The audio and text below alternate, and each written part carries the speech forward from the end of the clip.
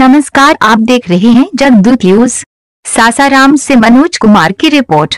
जिला मुख्यालय सासाराम में डीएम कार्यालय में काराकाट लोकसभा क्षेत्र के लिए काराकाट प्रत्याशी सह पूर्व केंद्रीय मंत्री उपेंद्र कुशवाहा ने जिलाधिकारी को अपना नामांकन पत्र सौंपा। बताते चले कि रोहतास जिला में लोकसभा का चुनाव 19 मई को होना है।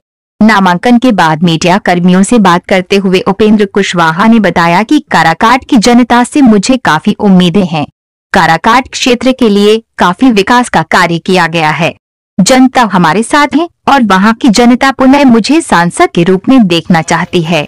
वहीं एक पत्रकार के सवाल पर उपेंद्र कुशवाहा भर उठे। बताते चले कि काराकाट लोकसभा क्षेत्र में विकास का कार्य अधूरा पड़ा हुआ है। जिससे वहाँ की जनता उपेंद्र कुशवाहा नाखून दिख रही है। जनता के नाखुश होने के सवाल पर उपेंद्र कुशवाहा भर उठे। सवालों का जवाब न होने के कारण उन्होंने पत्रकार को कहा कि जनता का ठेका लेकर बैठे हुए हैं क्या जार इस जवाब से यही साबित होता है कि कलाकार क्षेत्र में विकास नहीं होने के कारण सांसद के पास इस सवाल का कोई जवाब नहीं था। चुनौती को स्वीकार करेंगे क्योंकि वहाँ से महाबली सिंह भी आपके खिलाफ में लड़ रहे हैं। ऐसे में चुनौती आपकी बड़ी है। कोई चुनौती मेरे सामने नहीं है।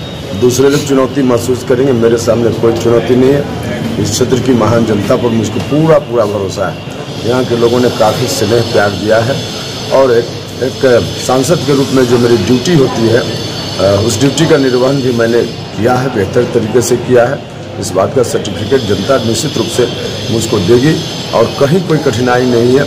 जाति धर्म से ऊपर उठकर लोग इस क्षेत्र के मुझको प्यार करते हैं क्योंकि मैंने उनकी सेवा की है। इसलिए सब लोगों का वोट मिलेगा और कहीं कोई मुकाबला में कोई उम्मीदवार ही हमारे सामने नहीं होगा। आपको जनता पर भरोसा है? जनता को विश्वास कर नहीं हो रहा है। क्या कारण है? क्या हुआ? आपको जनता भरोसा है लेकिन जनता को इस पर विश्वास नहीं हो रहा आप पर। क्या कारण कहीं ना कहीं जनता का ठेका आपके पास है क्या? कहीं ना कहीं नाराज़ जनता दिख रही है। जनता का ठेका जनता के पास है आपके पास नहीं है। सर वजह क्या सर दो जगह सब सीट चुनाव लड़ रहे हैं सर। इसलिए कि दोनों ने मिलकर बहुत परेशान किया है जेडीयू वाले हों और बीजेपी वाले। दोनों ने बहुत नुकसान किया है दोनों को पटकर नहीं देना। जेडीयू को यहाँ पटकर नहीं देंगे और उजियारपुर से जहाँ मैं चुनाव लड़ रहा हूँ अब भारतीय जनता पार्टी को दूर चटाना तो सर अगर दोनों जगह से आप सीट निकालने में कामयाब रहते हैं तो कहाँ क्या सीट छोड़ेंगे आप? देखिए यहाँ के लोग काराकाट के लोग मुझको काफ़ी प्यार करते हैं। स्वाभाविक रूप से आ, मेरी उम्मीदवारी स्वाभाविक है यहाँ।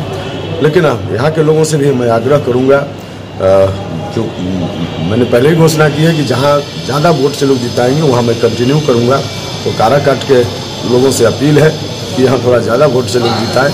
बस उनके ऊपर बाकी चीज़ है। सर, एक सवाल और कल प्रधानमंत्री मोदी ने अक्षय कुमार को गैर राजनीतिक इंटरव्यू दिया है। राजनीतिक से हट के दिया, उस पर क्या कहना है आपका? अब इन चीज़ों पर मेरा कोई ध्यान ही नहीं, इतना काम है इलेक्शन का कि कहाँ हम देखने जाए इंटरव्यू किसका